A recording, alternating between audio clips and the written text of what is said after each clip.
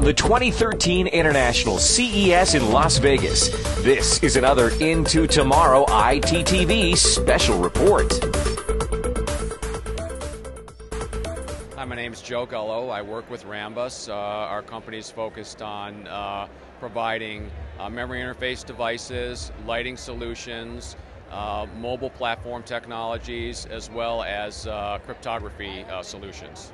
So you're here at uh, PepCom showcasing a revolutionary LED. What's so revolutionary about this? There's so many LED bulbs out there. What's new with this? Right, so there are three key aspects to this new LED lamp that we think uh, really make it revolutionary. The first is our micro lens uh, design. What that micro lens design does is to provide an omnidirectional light output, so providing light output comparable to what you would see with an incandescent lamp. Uh, the second uh, unique feature of this lamp is our driver compatibility with dimmers. So you'll see that this product has compatibility with a broad range of common incandescent dimmers that are out there today, uh, which is a real differentiation versus what you see with competitive LED lamps today.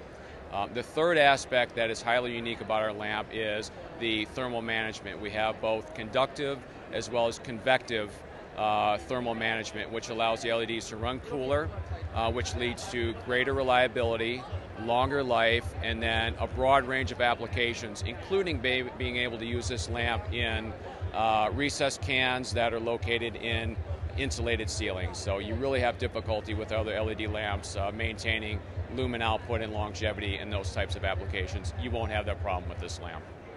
And what's the uh, power consumption of this and the wattage uh, sample on it?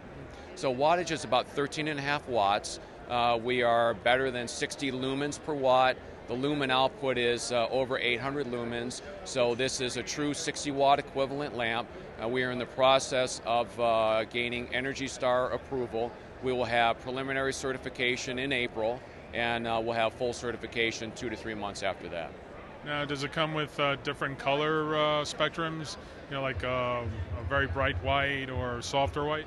Uh, our initial launch will be roughly 3,000 Kelvin, uh, which is a warm white solution. Uh, as demand dictates, we will certainly provide lamps in other color temperatures. When will we see this out in the market, and what's the price point on it? You'll see this on retail shelves during the second quarter of this year. Uh, price point will be sub $15, uh, which is very attractive vis a vis competitive solutions out there today.